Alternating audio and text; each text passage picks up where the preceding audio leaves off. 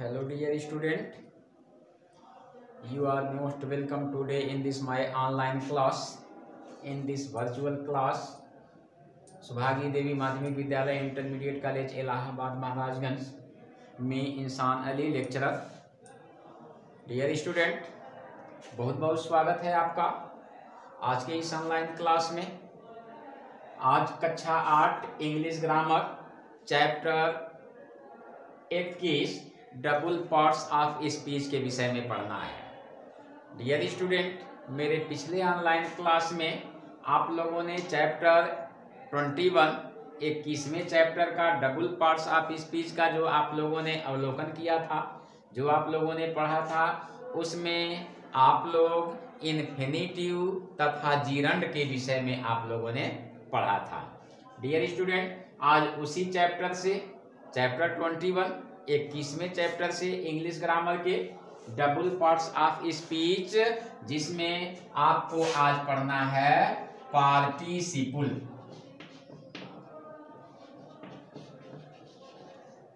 पार्टिसिपुल का यूज़ करके आज हम सेंटेंसों को, हिंदी सेंटेंसों को इंग्लिश में बनाएँगे। डियर स्टूडेंट सबसे पहले आइए जानते हैं पार्टिसिपल क्या है? क्रिया के जो विभिन्न रूप हैं, उन्हीं में से पार्टिसिपल को लिया गया है। पार्टिसिपल आपके तीन प्रकार के होते हैं। पहला है आपका प्रेजेंट पार्टिसिपल।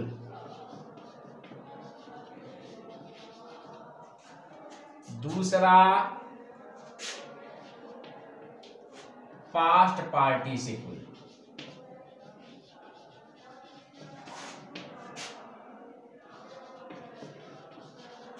और तीसरा है perfect participle dear student participle आपके कितने हुए? तीन। परफेक्ट पार्टिसिपल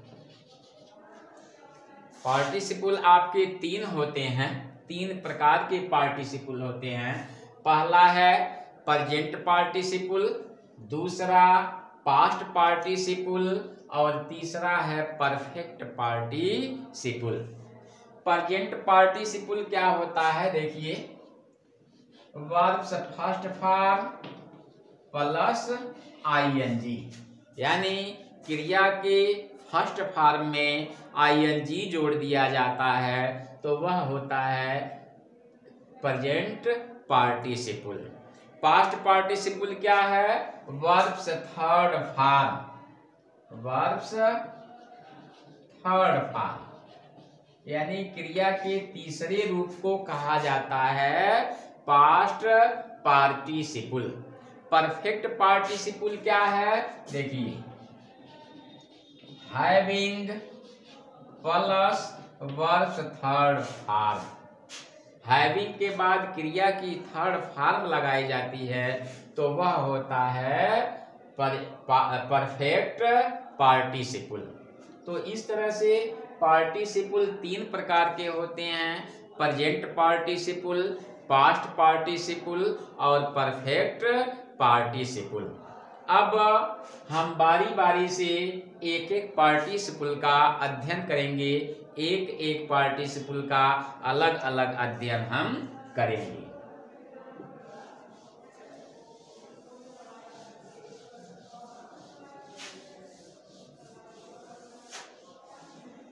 शुरुआत करते हैं प्रेजेंट पार्टिसिपल जो पहला है।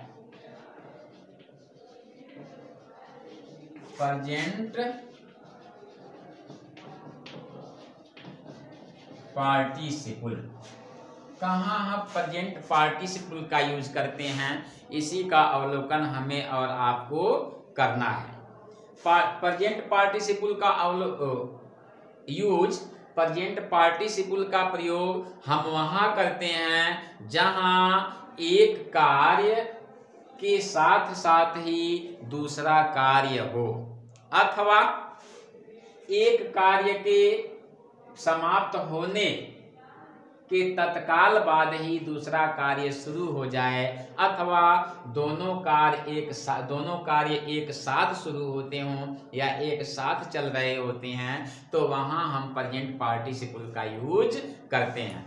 इसमें एक कार्य के साथ साथ दूसरे वाक्य में कार्य अति शीघ्र ही होता है तो वहाँ हम प्रेजेंट पार्टिसिपल का, का प्रयोग करते हैं। जैसे राहुल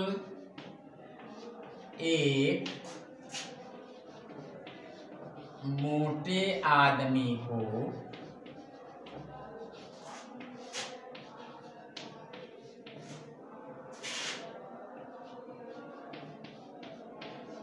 जाते हुए देखा। राहुल एक मोटे आदमी को जाते हुए देखा।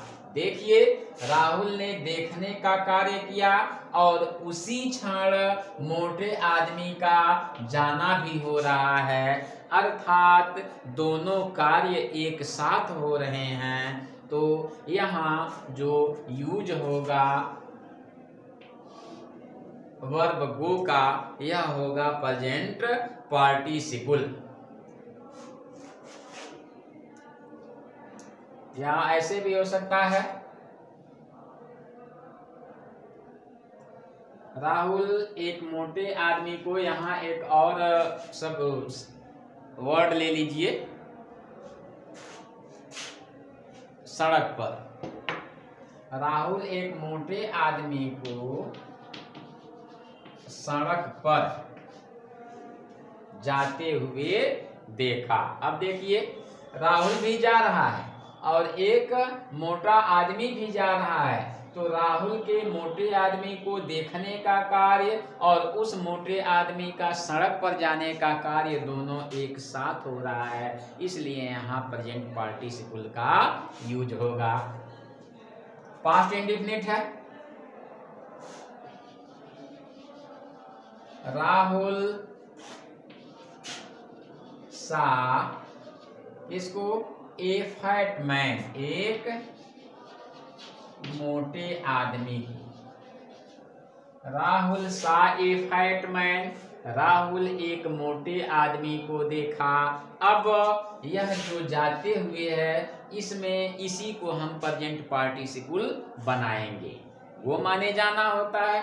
अब उसी में अगर आईएनजी हम जोड़ दें वर्ब के फ़र्स्ट फॉर्म में आईएनजी जोड़ दिया जाए तो वही होगा प्रेजेंट पार्टिसिपल तो Rahul saw a fat man going on the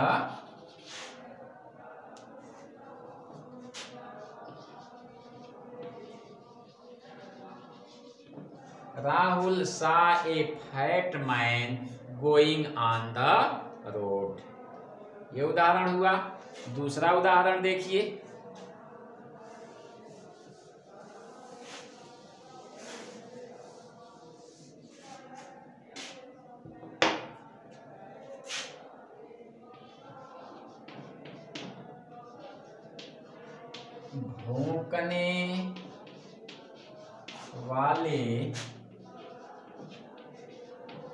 कुत्ते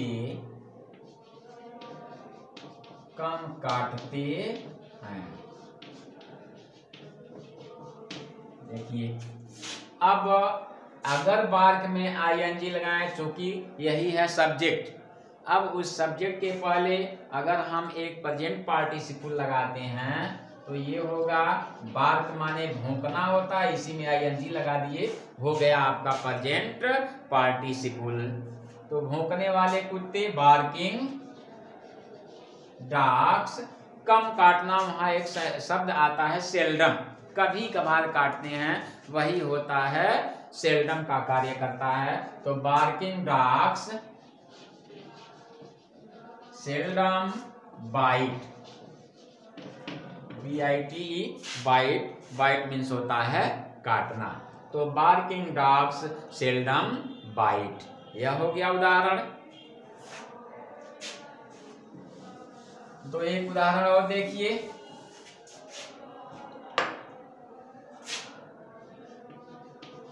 सर्प को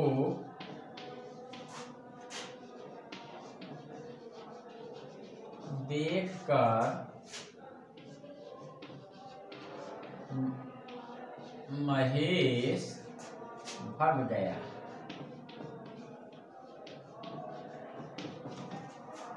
सर्प को देखकर महेश भग गया या भाग गया, दोनों चीज़ होता है, भग गया या भाग गया।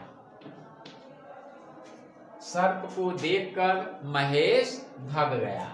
देखिए, इसी को आपको प्रेजेंट पार्टिसिपल बनाना है। सी लिख दिए सी में आई एन जी जोड़ दिए, हो गया आपका प्रेजेंट पार्टिसिपल सीइंग ए इसने कामा महेश, और यह है पास्ट इंडेफिनिट महेश, रैन, अभी। सीइंग ए इसने महेश, रैन अवे तो इस तरह से हम और आप प्रजेंट पार्टिसिपल का यूज़ करके सेंटेंस जो हिंदी के सेंटेंस हैं, उन्हें इंग्लिश में अनुवाद करने का इंग्लिश में ट्रांसलेट करने ट्रांसलेशन बनाने का कार्य करेंगे। अब, जो दूसरा नंबर आप लोगों ने देखा प्रजेंट पर पार्टिसिपल के बाद, वह आएगा दूसरे नंबर पर आपका पास्ट पार्टिसिपल जो दूसरे नंबर पर आएगा।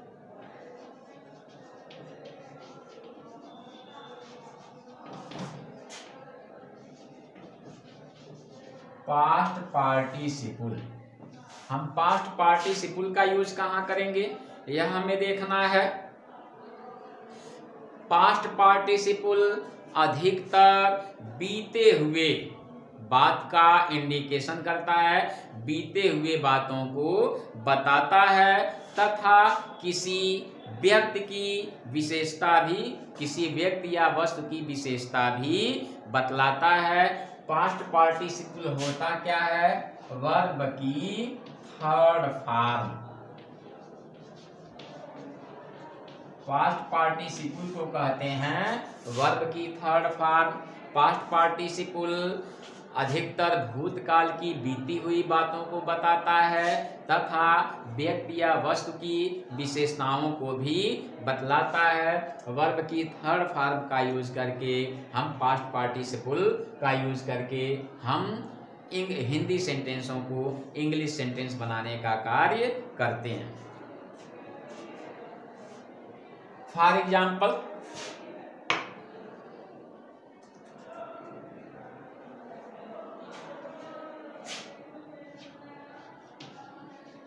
जला हुआ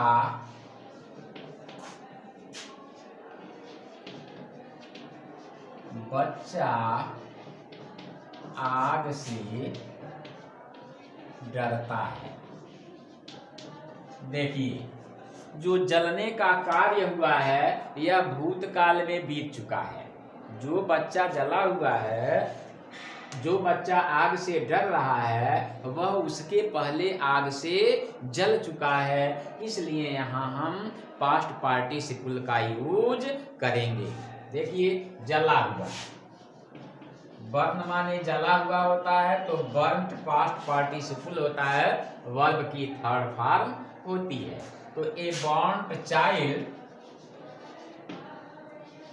देखिए ग्रेड्स माने ग्रेड माने जलना होता है। तो यह प्रेजेंट इंडेफिनिट है तो उसमें यस लग गया। तो a burnt child dreads with या the fire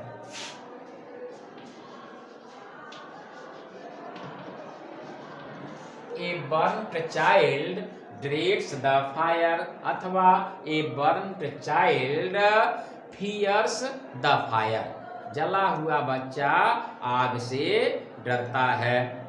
मुरझाए हुए फूल सुंदर नहीं होते।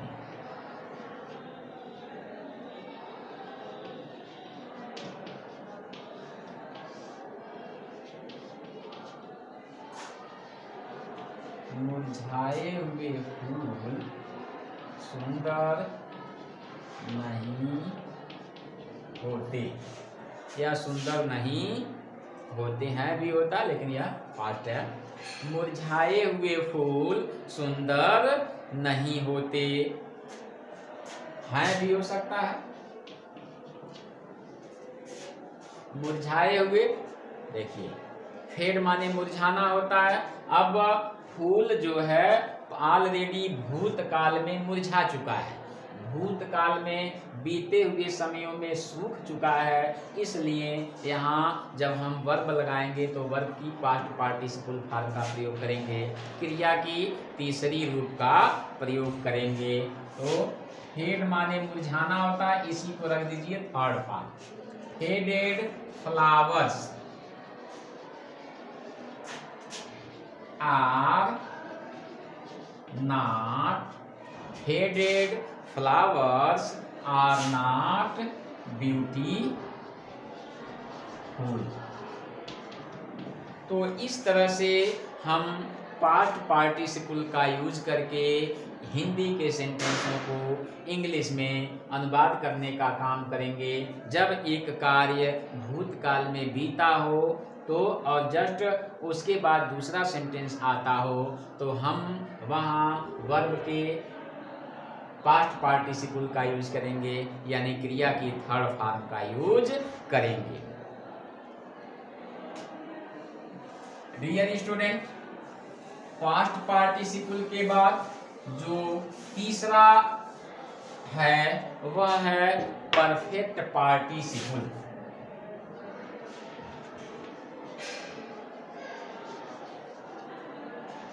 Perfect participle. आइए परफेक्ट पार्टिसिपल का यूज़ करके हम हिंदी के वाक्यों को कैसे इंग्लिश में ट्रांसलेट करते हैं।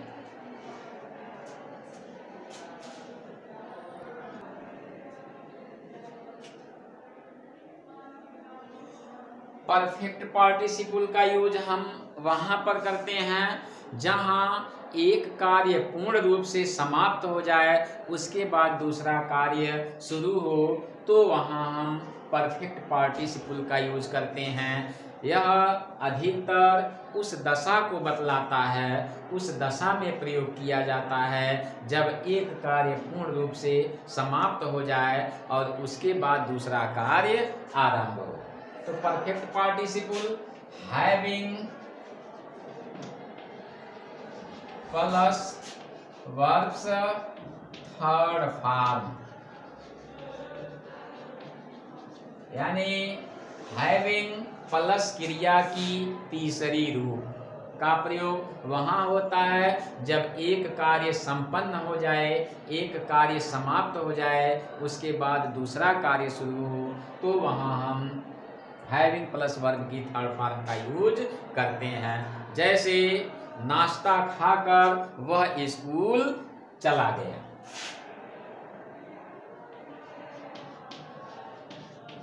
नाश्ता खाकर वह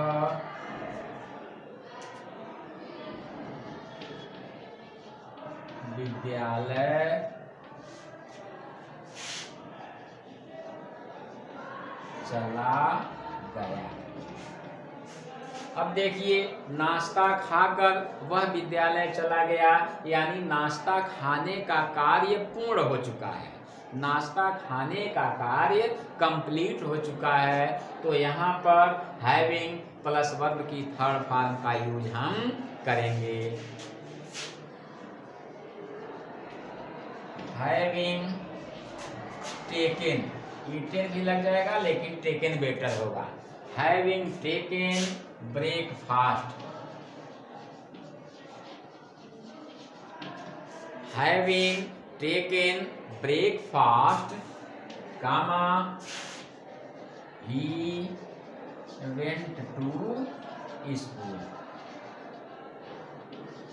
यहाँ क्यों हैविंग प्लस वर्ब की थर्ड फॉर्म लगा क्योंकि नाश्ता खाने का कार्य आपका कंप्लीट हो चुका है। इसलिए हैविंग प्लस वर्ब की थर्ड पार्ट का प्रयोग किया गया।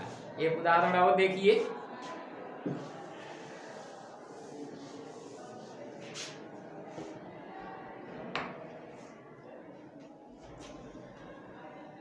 स्नान करके वह मंदिर जाती है। स्नान करके वह मंदिर जाती है। देखिए डियर स्टूडेंट स्नान करने का कार्य आपका कंप्लीट है, तभी मंदिर मंदिर जाएगी। तो इसका मतलब स्नान करने का कार्य आपका हैविंग प्लस वर्ब की थर्ड फॉर्म के यूज़ से बनेगा। तो having taken a bath comma she goes to temple तो डियर स्टूडेंट इस तरह से हम पार्टिसिपल का यूज़ करके हिंदी के वाक्यों को अंग्रेज़ी में अनुवाद करते हैं, यानी प्रेजेंट पार्टिसिपल का यूज़ करके फिर पास्ट पार्टिसिपल का यूज़ करके, उसके बाद पर परफेक्ट पार्टिसिपल का यूज़ करके हम हिंदी के वाक्यों को अंग्रेज़ी में अनुवाद बनाते हैं। तो डियर स्टूडेंट आई होप कि आप लोग पार्टिसिपल का प्रयोग समझे होंगे। अगर किंचित कोई परेशानी होगी तो आप अपनी समस्याओं से हमें अवगत कराएँगे। हर हाल में आपकी समस्या का समाधान होगा। Thank you